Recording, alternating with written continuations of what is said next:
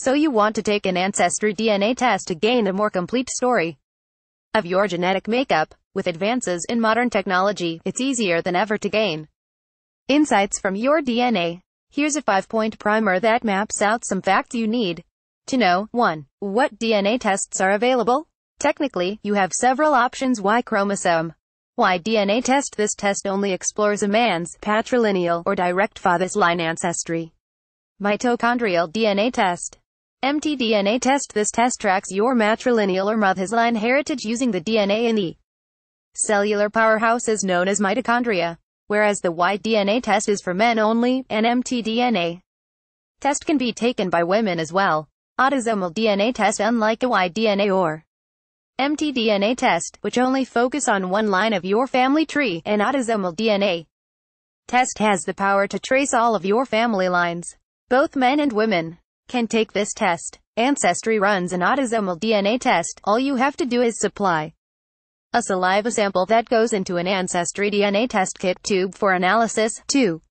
Are there any privacy risks? Privacy is a question that arises for many consumers considering genetic testing. Ancestry DNA does not claim ownership rights in the DNA that is submitted for testing. You own your DNA. For more information, check out Ancestry's Privacy Center. 3.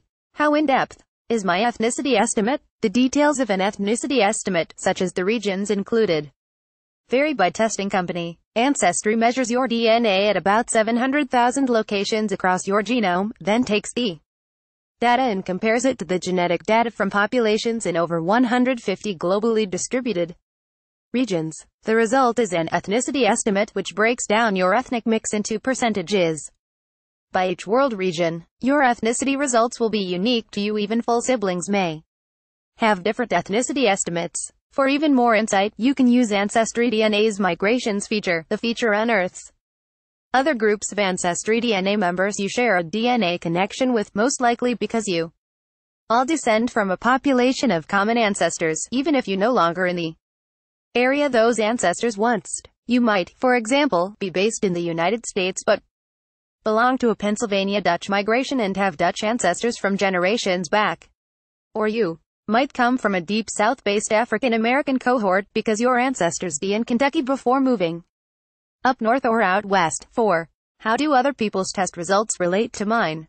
In addition to telling you more about yourself, genetic testing can tell you more about how you relate to others.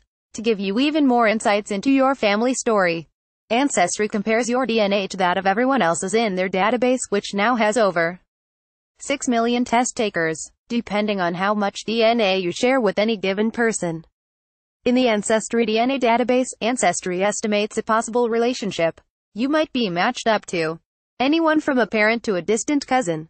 These possible relatives, or DNA matches, are listed on your Ancestry DNA test results. They could down the street, or around the world.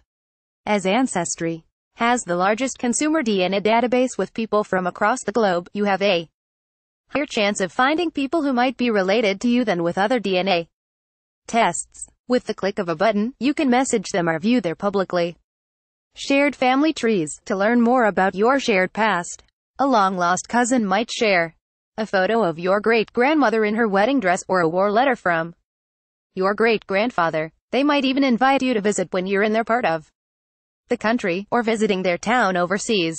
5. How much scope is there for Further exploration? Plenty. The database discoveries tying you to specific regions of the world will give you a reason to join the growing trend of heritage travel. Or you might use your newly discovered ethnic roots as inspiration for cooking. Does your ethnicity estimate show you're 9% Nigerian?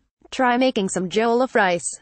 42% British? Try whipping up some British desserts, and so on. For still more context, you can opt into studies that use anonymized, aggregate data, which heightens our knowledge of our shared pasts.